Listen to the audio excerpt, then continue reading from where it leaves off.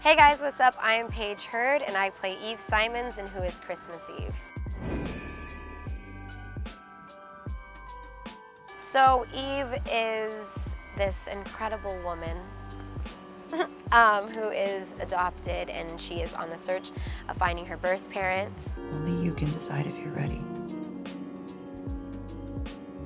Do you mind doing it? She is madly in love with her boyfriend, but you know, there's just those obstacles of wanting to feel whole again. Just trust me, okay? Come on. So during the film, the obstacles that Eve runs into, I would say a lot are emotional with her boyfriend.